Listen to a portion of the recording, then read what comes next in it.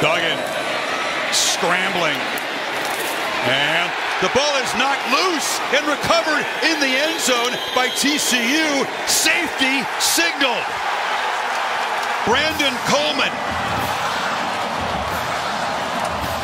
Chris, that ball, as he was getting ready to knock to throw the ball, it looked like Austin Moore, 41 man, knocked that ball out of his hands before his hands started to come forward. Watch 41 right there. He starts to scramble. He shoots, gets into the backfield, and for some reason, when he went in the air, he stopped. Looked like Bill to me stopped moving his arm forward to throw the ball. Kind of the previous froze there. play is under further review. Ruling on the field there was a fumble recovered in the end zone for a safety. I agree with you. It kind of stopped. The defender is up, and he's actually hitting the front of that ball Right.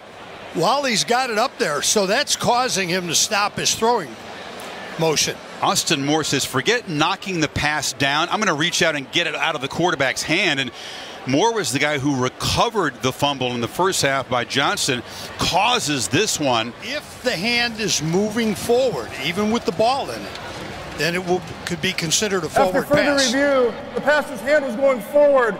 Therefore, it's an incomplete pass. It'll be fourth down. So, Bill, you're, you're on it. That was a tough decision. I think you're right. Duggan intended to hold on to the ball, I think- but I just maybe slightly moving forward.